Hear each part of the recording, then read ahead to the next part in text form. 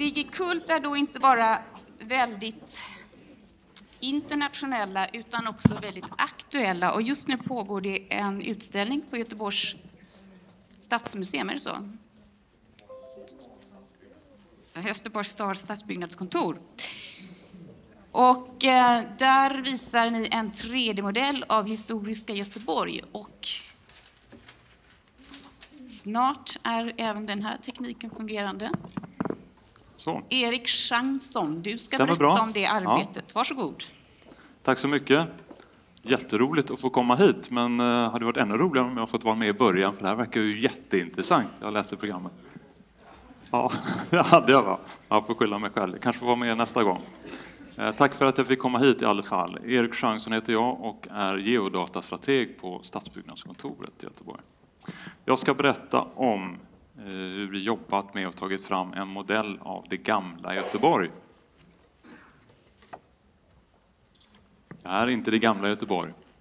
Det här är det framtida Göteborg. Så här kommer kanske staden se ut om, ja, säg 20-30 år. Det här är vår visionsbild. Och det ni ser är olika färger, det är olika etapper, men vi kommer bygga en ny stad i den befintliga staden. Så det är här vi jobbar väldigt mycket med på Stadsbyggnadskontoret. Men hur kopplar man då det till historien, som ni kanske eventuellt är mest intresserade av? Det är det jag ska visa. Jag ska visa hur vi gör den här resan och tar oss tillbaka till 1600-talet då Göteborg föddes. Det här är faktiskt någonstans 1695 ni ser här. Man brukar ju definiera födelsen av Göteborg till 1621, men då fanns det ju givetvis ingenting. Va? Eh, så det här såg staden ut när den var egentligen komplett för första gången. Vi kommer få se mer av det. Den här bilden försöker jag visa att det vi jobbar med väldigt mycket i stadsutveckling, det är att nå ut till göteborgarna, att vara, se till att de är inkluderade i den processen i stadsutveckling, att vi gör det här tillsammans. Och eh, när man gör det, då är historien jätteviktigt. Eh, han skriver då, nu, sen. Varför ser staden ut som den gör idag? Ja, men då måste vi faktiskt gå tillbaka och titta. Hur började stan byggas? Hur såg den ut från början? Så man förstår den här utvecklingen. För staden kommer ju kontinuerligt förändras hela tiden. Det är det som är stadsutveckling. Och sen handlar det väldigt mycket om att vi ska låta våra ungdomar förstå också vad Göteborg är för någonting. Hur bildades den här staden? Vad har den för historia? Så att man lär sig om det. Ska visa några bilder just när det gäller stadsutveckling och hur staden har förändrats. Många av er har säkert varit inne i Nordstan. Är ni från Göteborg, några av er? Vilka är från Göteborg? Det är drygt hälften ser det ut som. Då har ni varit i Nordstan, kanske många andra också. Så där till höger, så såg det ut förr i tiden. Det kanske man hade önskat att det fortfarande gjorde, men nu är det inte så. En annan vy från eh, ovanför Göteborgsoperan såg ut på det viset. Det är någon gång eh, början på 1900-talet. En annan bild visar hamnkanalerna som eh, vi fortfarande har några, men några är ned, igengrävda. Det här är på Östra Hamngatan som går ut mot Operan. Den fylldes igen någon gång. Är det någon som vet när? Ja, någonting sånt. 30-tal. Mm.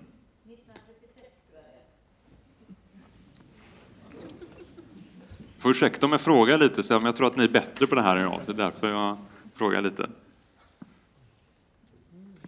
Det här är ju inte heller historia. Kom jag hit och skulle prata om historia? Nej, det här är ju givetvis något helt annat. Det här är en film som heter Independence Day Resurgence, en uppföljare till den första Independence Day. Om någon möjligtvis har sett den? Är det någon som har sett den här filmen? Ja, bra där. Eh, den här filmen bygger ju, den är framtagen med en viss teknik som vi har anammat på Stadsbyggnadskontoret. Det är ju media och filmbranschen, film och spelbranschen, som ligger längst fram när det gäller teknik, 3D-teknik. Så vi använder delar av den här tekniken, så de har använt den här filmen för att ta fram vår gamla modell. Man säger. Jag ska visa ett kort litet filmklipp från en person som har hjälpt oss i detta. Um, my name is Matthias Bühler. Uh, I'm from Switzerland, and I am. I have become over the last few years a specialist in three-dimensional cities. So basically, that is a discipline in using modern technologies to to create uh, virtual three-dimensional city models. Other than Independence, the Resurgence, I, I haven't been working on other movie projects so far. Basically decided to go into another direction and go into direction of my own business now. The story with the cooperation with the Gothenburg city goes back a couple of years where I have trained a couple of the employees and they said, hey, we have this historic project coming up. So basically a historic reconstruction of Gothenburg in the 17th century. The goal is basically to teach citizens about the history of the city.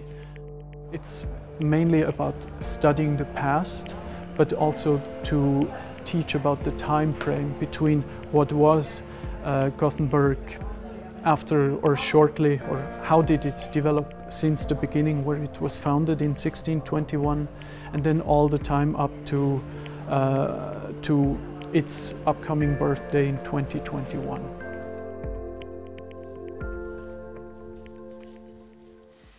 Där var Mattias Bühler, en eh, expert på just den programvara som vi använder. Eh, Mattias Bühler kommer från Schweiz och har jobbat med just den här filmen Independence Day. Ska vi gå vidare där? Den här tekniken bygger på något som heter rule-based mod modeling eller parameterstyrd modellering. Vi, vi, ritar inte staden som man kanske ritar i CAD eller något liknande, utan vi programmerar allting. Vi skriver programkod. Det låter kanske lite konstigt, men det gör det väldigt enkelt att sedan göra en väldigt stor eh, modell med väldigt många byggnader med variationer. Vi bygg, börjar med att bygga vägar och kvarter och applicera regler på dem, så sen får vi fram en, en modell. Och så här jobbar vi i stadsutveckling idag. I, det här är Frihamnen där vi jobbar med den här tekniken för att kunna vara väldigt flexibla i vår stadsplanering, kunna förändra och räkna ut olika exploateringstal och liknande. Och så här såg det ut till exempel när vi började med Frihamnen. Det var vi får från våra arkitekter den här typen av skisser som vi sedan digitaliserar. Vi skapar nätverk och gatunätverk och kvarter. Och sen lägger vi, adderar vi mer information, vilka typer av tak etc. Vilka olika områden som har olika innehåll här. Och eh, blir mer och mer eh, realistiskt om man säger. Utifrån det här kan vi sedan ta fram filmer och eh, ja, bilder, filmer och även VR-renderingar som ger en lite bättre känsla, en lite bättre bild av hur det kommer se ut framöver. Och det här är precis nere vid den nya så kallade Hisingsbron som kommer vara klar 2021 och eh, hur det ser ut då i brofästet.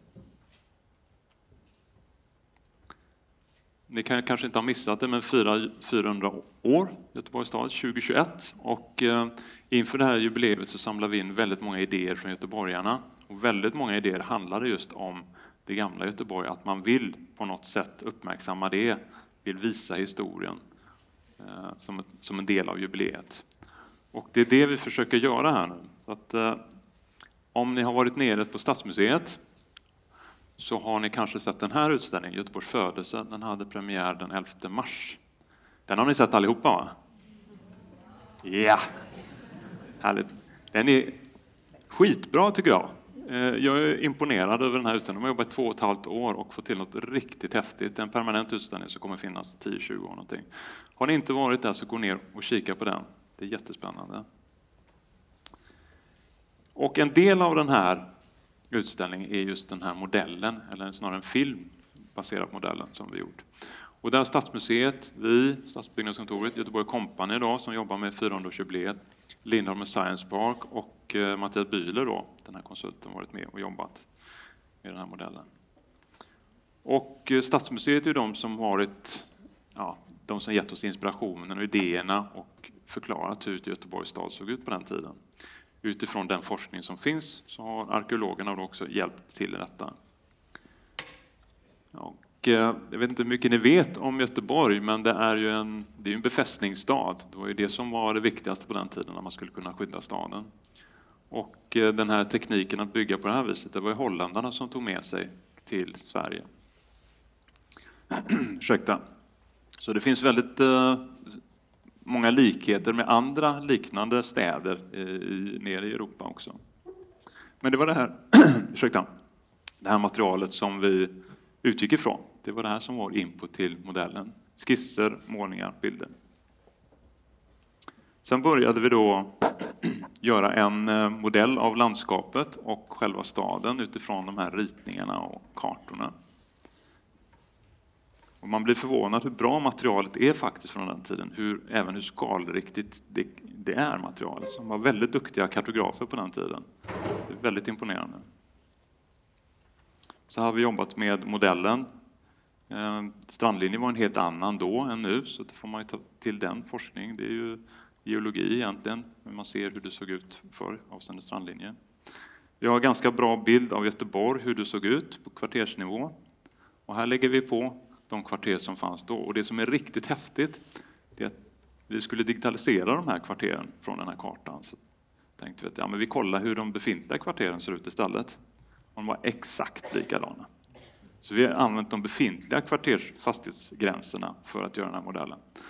Och det är rätt spännande om man ser staden innanför vallgraven, att det är identiska kvarter. Sen jobbar vi vidare och utifrån här skapade byggnader och de gårdar som finns och innesluter. Sen jobbar vi då med den här procedurella tekniken som jag visar från den här filmen, bland annat Independence Day. Och det här, här är en, ett exempel på, en hus, på ett hus och en, eh, en bakgård. Och sen gör vi olika variationer på de här husen och då programmerar vi det här. Där kan man egentligen få hur många variationer som helst. Och sen slumpar vi ut det här eh, i, i staden. Vi har viss kontroll ungefär på var det är höga och var det är låga, men ungefär så det går till. Och på det sättet får vi liv i bilden, att allt ser inte likadant ut. Och här har vi då fyllt hela staden med byggnader, kvarter. Och här ser ni olika exempel på hur det kan se ut i modellen. Här är Gustav Adolfs torg och Kvarnberget, som faktiskt hade en kvarn på den tiden längst upp där. Sen är det såklart, om man vill få det att bli riktigt bra så kan man ju inte bygga på den här tekniken överallt. Vi måste faktiskt modellera byggnader också. Byggnader som har lite speciell karaktäristik. Då. Och det här är domkyrkan. Det har vi jobbat med på det här viset. Vi jobbar med eh, dagens eh, fotografier också och har också tittat på gamla ritningar. Och sen modellerar vi det. Broarna, där fanns också väldigt bra material. Hur var de konstruerade? Det är ju ingenjörer som har gjort det här och de är duktiga på att rita skisser och det har vi kunnat använda. Så att vi fått ganska bra överensstämmelse med hur det faktiskt var på den tiden, tror jag i alla fall. Skansen Krona. Du ser ritningen där i bakgrunden. Det här är Älvsborgs fästning som finns kvar idag, väldigt intakt också, men det såg annorlunda ut på den tiden. Det har också utgått från olika ritningar och modellerat upp det här i 3D. Sen för att skapa en, eh, en miljö full av liv så har vi använt vad vi kallar olika assets och placerat in i den här miljön för att kunna göra den till en VR-modell. Och det här är ju ingenting som vi gjort själva utan det, är ungefär, det köper man i butik ungefär, olika VR-assets som vi placerar ut.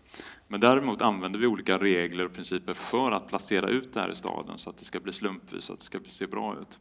Så att de här båtarna också ska bli fulla med lagom många lårar och saker. Va?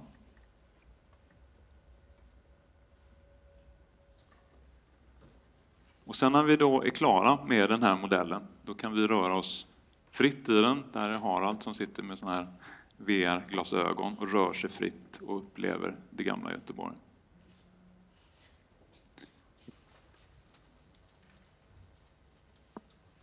Så. Så jag kommer tillbaka till presentationen.